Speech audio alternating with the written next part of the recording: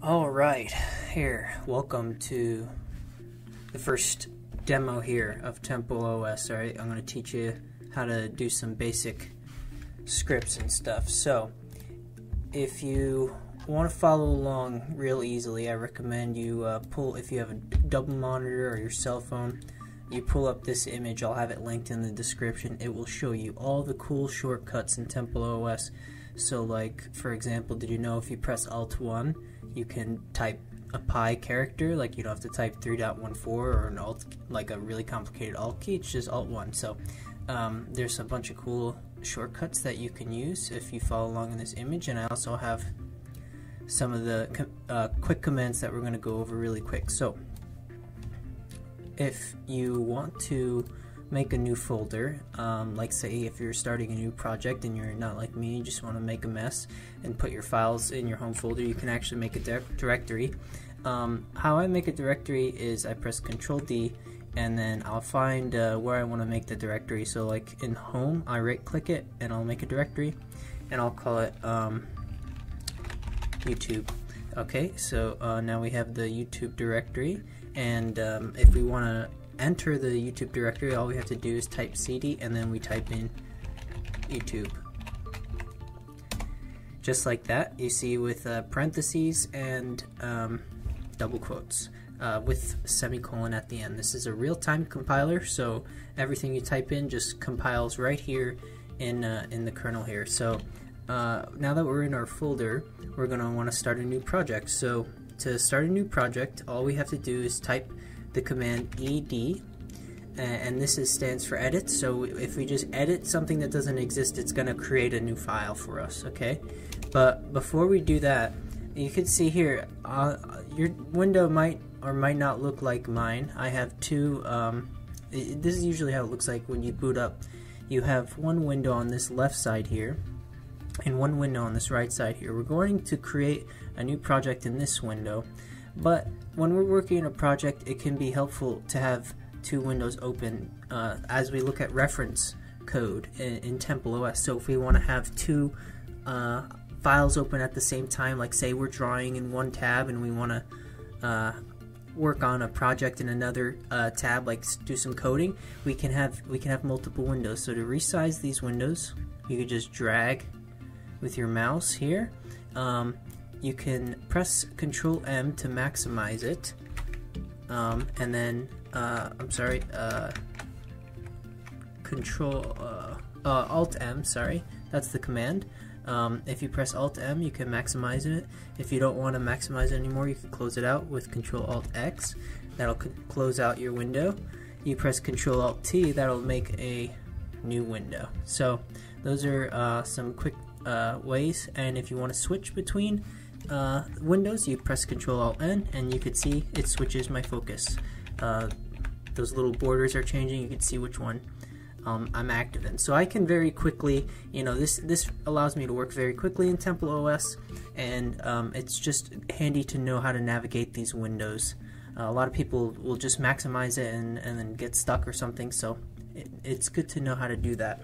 If you want to access this menu at the top of Temple OS, hold down your Windows key um, or your I guess Apple key for simulating on a Mac. I don't know, uh, but um, it's the Windows key, and you can uh, use the arrow keys to uh, navigate this top window here.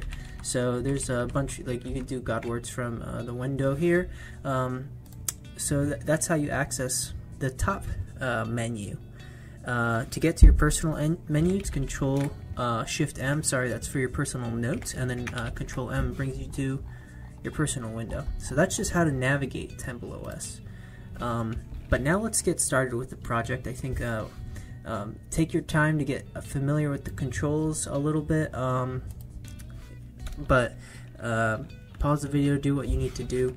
But we're going to get right into the next part of this video, which is actually our project. So um, if you want to have a copy of what I'm working with, this is what we're going to make. I demoed it in the last video.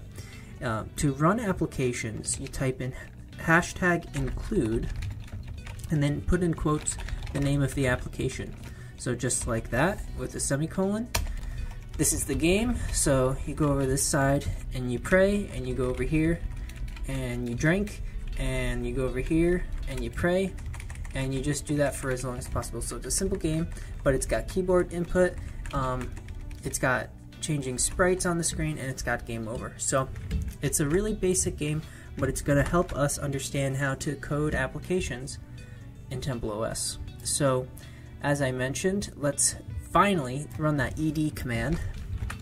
ed and name, uh, oh, well, make sure you're in your uh, folder uh, just so you uh, you don't have to make a folder but uh, run that ed command now and we're gonna call it um, game.hc hc is just the text file extension in Temple OS so instead of .txt it's .hc so run that command and now we're in a blank script here we could start uh, typing things we're going to make our first graphic. So to draw something in Temple OS, um, it's how it works is if you think about a regular text file, it's composed of ASCII characters.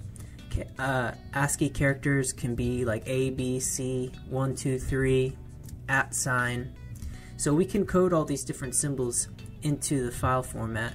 Red C, which is um, the underlying file format for Holy C doesn't use ASCII, it uses Red C. You can draw any kind of sprite you want. It's built right in. So these things are basically very similar to how you would type A, B, or C on your regular keyboard. But in Temple OS, we can draw anything. So let's draw our first sprite. And to do that, we press Control R and we're going to make a sprite. So this menu clicks up, uh, opens up here. You could just use your mouse and click make sprite. So this is our sprite men main menu. And as you saw, uh, the demo game had a little person running around. So uh, you can draw a full person if you want with these tools. I'm just going to draw something really quick to give us an introduction into how to use these tools. So circle, if you want to do a circle, I could very quickly draw a circle. Just you click and that's the circle tool and if you want to get back to your menu you just right click and so I can select uh, like I, I think that's too thick right um, so actually I don't like that. I'm gonna I'm gonna click this uh, circle I just did on the right. I'm gonna click delete on my keyboard, and that's going to remove it. And now I can do something else. So actually I'm gonna make it a, a higher thickness. I'm gonna give it 10 thickness, and I'm gonna do a rectangle instead.